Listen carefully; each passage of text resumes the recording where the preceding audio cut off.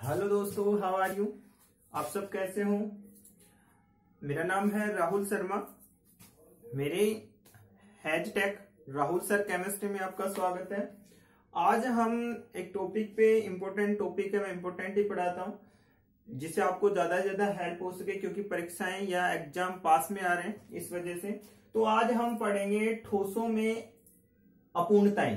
मतलब solid state है या सोलिड है या ठोस है उसके अंदर कुछ डिफेक्ट उत्पन्न हो जाते हैं या त्रुटियाँ उत्पन्न हो जाती हैं या दोष उत्पन्न हो जाते हैं, वो आज हम देखेंगे कि कितने टाइप का दोष होता है और उनको भी कितने भागों में डिवाइडेशन किया गया है। और ये आता है इंपोर्टेंट क्वेश्चन है ट्वेल्थ में भी है और ये इलेवेंथ में भी है कुछ पार्ट और ये बीएससी में भी है और ये एमएससी तक भी आता है ये क्वेश्चन है ना? तो आज हम ये देखेंगे, ध्यान से पढ़ना। इधर देखो, अब क्या है? इम्परफेक्शन या इन सोलिड या फिर हम क्या बोलते हैं? डिफेक्ट इन सोलिड ठीक है ना? ये ठोसों में अपूर्णताएँ या डिफेक्ट सोलिड के अंदर इसको हम दो भागों में डिवाइडेशन करते हैं इलेक्ट्रॉनिक त्रुटियाँ मतलब इलेक्ट्रॉनिक डिफेक्ट और दूसरा आता है कौन सा? परमाणुवीय या बिंदु त्रुटियाँ मतलब एटॉमिक और पॉइंट डिफेक्ट मतलब सोलिड के अंदर जो डिफेक्ट होते हैं, उनको दो भागों में डिवाइडेशन किया गया है। तो इलेक्ट्रॉनीय त्रुटियाँ या इलेक्ट्रॉनिक डिफेक्ट क्या होते हैं? मतलब इसमें क्या होगा? नाम से ही पता चल रहा है इलेक्ट्रॉनीय त्रुटियाँ। त्रुटियाँ का अर्थ क्या होता है? कमी। क्या होता है? कमी। अब इलेक्ट्रॉनों की कमी हो जाए, या फिर इलेक्ट्रॉनों की अधिकता हो जाए। मतलब कमी या अधिकता की वजह से जो त्रुटियाँ उत्पन्न होती है सोलिड में उन्हें उस प्रकार के डिफेक्ट को हम क्या बोलते हैं? इलेक्ट्रॉनीय त्रुटिया इलेक्ट्रॉनीय डिफेक्ट या इलेक्ट्रॉनीय त्रुटिया डिफेक्ट भी कहते हैं। आगे समझे। इसमें या तो इलेक्ट्रॉन की अधिकता या होगी या इलेक्ट्रॉन की कमी होगी। इधर देखो, इनको गौर से समझते हैं। ये जो इलेक्ट्रॉनीय त्रुटियाँ हैं, ये कब होंगी या कब ये डिफेक्ट फॉर्मेशन होगा? ये या तो सिलिकॉन या फिर जर्मेनियम ग्रुप 14 के हैं। सिलिकॉन और जर्मेनियम दोनों के अंदर इस प्रकार का डिफेक्ट या हम क्या बोल सकते हैं इलेक्ट्रॉनीय त्रुटियाँ पाई जाती हैं। इसके अकॉर्डिंग हम सिलिकॉन और जर्मेनियम के अंदर कुछ अन्य तत्वों को या अन्य ग्रुप के तत्वों को मिलाकर उसे हम क्या बना लिया जाता है, अर्धचालक। क्या बना लिया जाता है? अर्धचालक। मैंने अर्धचालक का पूरा वीडियो बनाया हुआ है वो मेरे पीछे जो आ, मैंने वीडियो बनाया था इससे पहले उसमें देख लेना डिटेल से समझाया गया है। तो आज हम इसी पे पढ़ेंगे।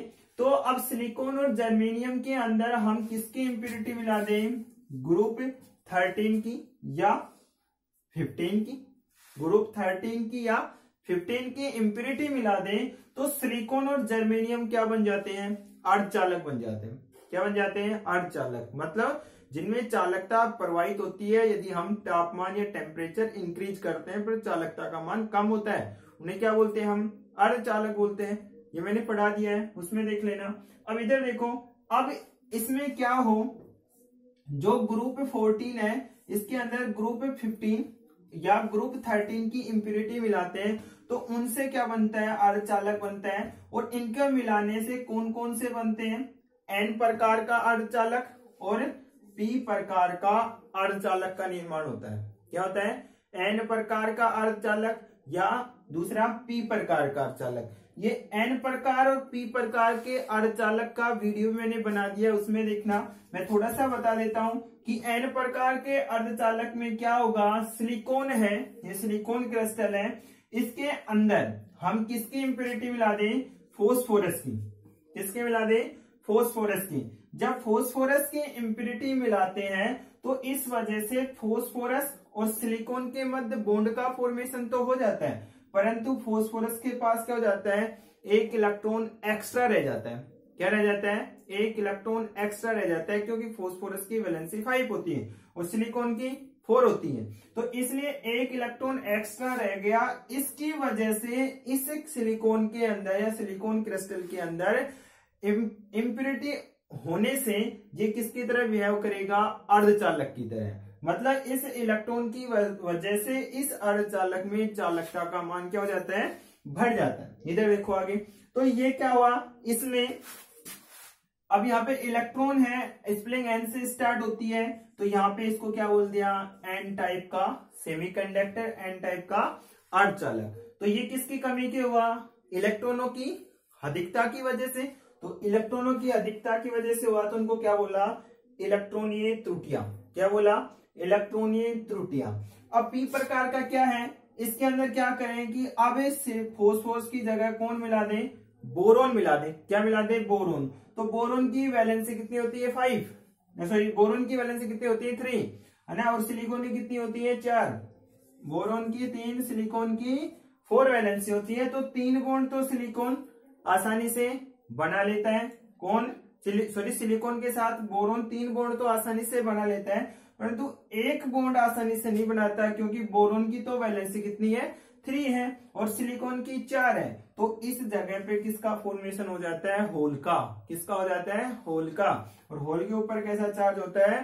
पॉजिटिव अब यहाँ पे इलेक्ट्रॉनों की कमी हुई या अधिकता? यहाँ पे पॉजिटिव आया तो इलेक्ट्रॉनों की कमी। तो इस कमी की वजह से जो त्रुटि हुई, उनको क्या बोलेंगे? इलेक्ट्रॉनीय त्रुटियाँ कहते हैं। तो अभी आपको समझ में आ गया होगा अच्छे से। मतलब इलेक्ट्रॉनिक त्रुटियाँ उन्हें कहेंगे जो इलेक्ट्रॉनों की वजह से जो त्रुटियाँ उत्पन्न होती है सोलिड के अंदर, जैसे एन और पी टाइप का सेमीकंडक्टर है, वो इसी के एग्ज़ाम्पल है। तो जो इलेक्ट्रॉनों की अधिक या कम, कमता, अधिकता या कमी के कारण होती है, उन त्रुटियों क्या बोलते हैं? इलेक्ट्रॉनिक त्रुटियाँ कहते हैं। बात समझ आ गई। अब इसका दूसरा डिवाइडेशन क्या है? परमाणु या बिंदु त्रुटियाँ।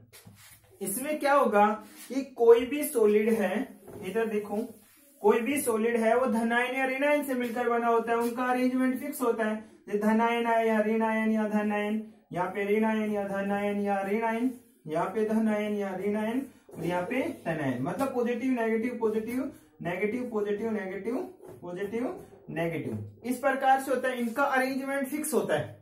मतलब पॉजिटिव आएगा तो फिर नेगेटिव आएगा नेगेटिव आएगा तो फिर पॉजिटिव आएगा। तो इनका ये अरेंजमेंट फिक्स है।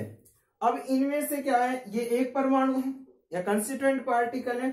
इसमें से पूरा परमाणु क्या हो जाए? या तो धनायन बाहर निकल जाए, या फिर ऋणायन बाहर निकल जाए।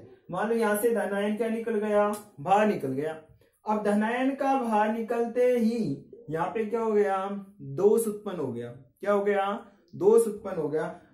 अब इस क्लस्टर के अंदर धनायन बाहर निकला तो धनायनिक दोष हुआ तो धनायनिक दोष हुआ तो परमाणु बाहर निकला है ना? या फिर आयन बाहर निकले तो यहाँ पे पूरा परमाणु बाहर निकला है तो क्रिस्टल से बाहर चला जाएगा या इसके अंतरकाशी रिक्त स्थानों में चला जाएगा ना? यहाँ पे जाने से तो इस प्रकार के दोष को हम क्या बोलते हैं? परमाणुय दोष या बिंदु त्रुटिया कहते हैं। तो ये थे दो टाइप इसका। अब यहाँ पे परमाणु या बिंदु दोष को भी हम तीन भागों में डिवाइडेशन करते हैं। स्ट्राइकोमेट्रिक दोष नॉन स्ट्राइकोमेट्रिक दोष और कौन सी?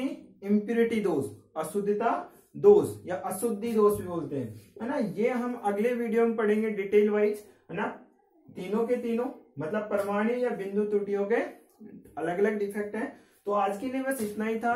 तो मेरे चैनल को सब्सक्राइब करें तो अपने दोस्तों को शेयर करें, उनको भी प्रॉफिट हो।